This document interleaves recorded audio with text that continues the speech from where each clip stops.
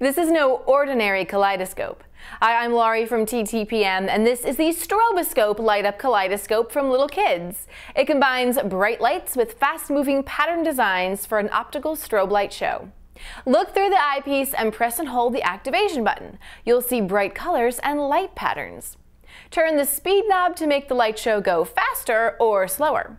This toy includes three AAA batteries for the in-store Try Me features, and it's recommended that you replace them before you play for best results. This new take on the classic kaleidoscope makes a pretty cool light show.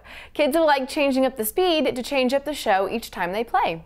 It's for ages 4 and up, and for more information and current pricing, visit TTPM and subscribe to our YouTube channel for more great toy reviews every day.